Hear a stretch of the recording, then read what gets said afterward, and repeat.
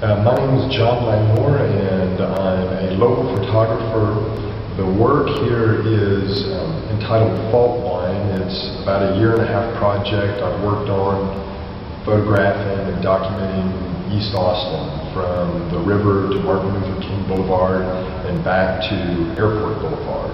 And on display here at the Mexican American Cultural Center are 28 of the images from this work, and um, that's what we're talk about and go through today.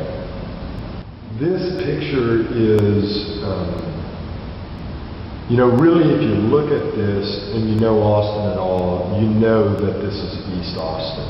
Um, one is because dogs are a big part of the east side, and even that breed of dog are popular is a popular breed of dog.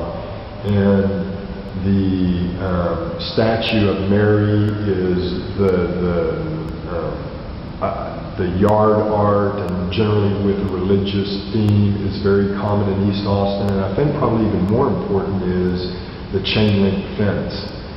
And on the one hand, the chain link fence is inexpensive, and I think that accounts for its widespread use. But uh, also, it is definitely um, a function of the fact that you can see in a chain link fence and you can see out a chain link fence and it creates a sense of community. It's also only about four feet high so you can talk across it very easily.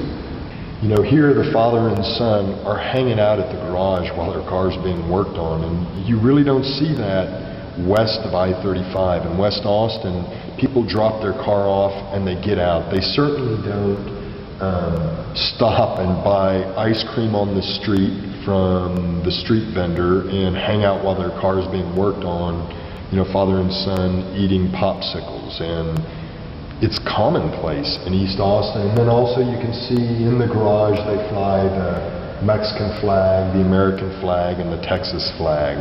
Uh, again, it's, it's um, you know, that's that's the community that's developed there, and I think it's just telling about um, how they feel about things. They're they're proud of their um, Mexican roots, and they're also proud of um, where they live today.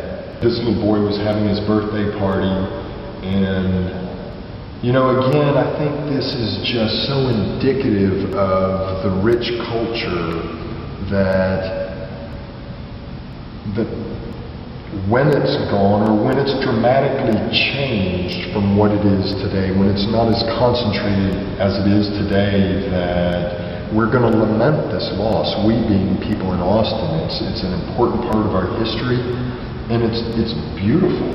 Um, there's just no getting around the fact that you know, someone that dresses up their son that way for a birthday celebration, that's special.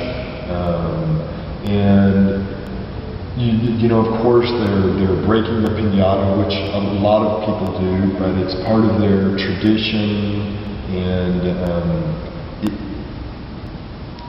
it, it it's just going to be painful when we don't have this to the same extent that we do today. It's um, just it's uh, very poignant and uh, very.